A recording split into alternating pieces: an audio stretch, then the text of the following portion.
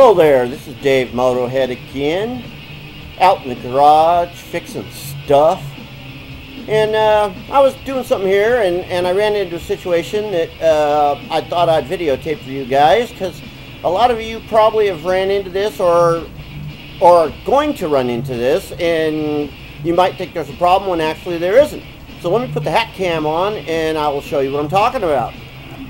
What we got here is we got a beautiful striper. It's in here for a little tune-up.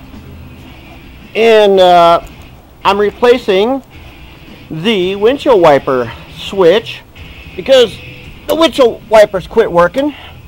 And as you can see, I've got the steering wheel off because I'm fixing the turn signal thing that broke. And uh, I'm actually going to be replacing the light switch too.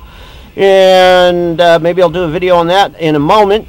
But right now I've got the windshield wiper switch out and I've got this brand new one that I'm getting ready to put in. Well, I want to test that before I put it in.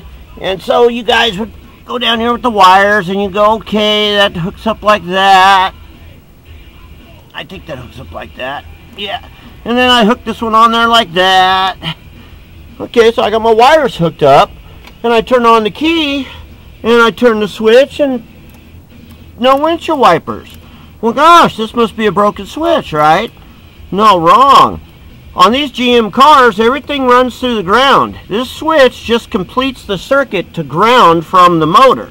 And so what you got to do to test it is you got to ground your circuit.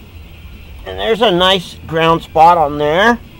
And if you watch here, when I turn the knob and I touch the ground, well, maybe I don't have a good enough ground. There we go.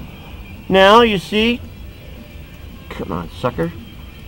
I got to scrape that up to get to some solid metal there.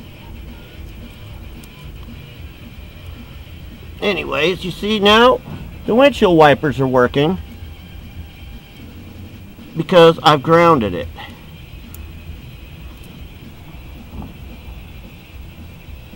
You see that? So now I know this switch works. See, now my windshield wipers are working. And uh, you got to really scrape these things to get a good ground on there.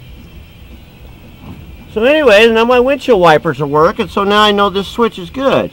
But you really got to ground that thing good on there. And you'll see it spark when I hit a good ground. And maybe this isn't grounding good enough here. That could be. But anyways, you always got to ground the switch. See, there they go. So, anyway, now that I know my switch is good because because it's grounded out, and you can see that, now it's working.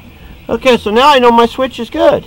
So that's something that you always got to do when you're when you're checking your windshield wiper switches is you got to make sure that you got a good ground on there and make sure that you got a good uh, like uh, this good washer here, the star washer, so it'll ground down to that to that uh, uh, dashboard and ground the switch so it'll work.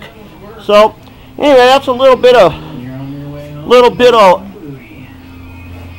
little bit of wiper switch 101 there for you. Make sure that when you're playing with those things that you ground the switch so it'll work right for you and uh, then you can test it and not think that you got a problem. So anyway, it's Dave Motohead and it's a little light uh, uh, windshield wiper switch 101 for the day. Thanks for watching. Uh, yeah, I'll catch you next time. You know how hard this is to do this? Huh? Huh? Do you? Do you, punk? No, I guess you don't because you don't do this and I do. Sometimes I trip over my own tongue. Thanks for watching.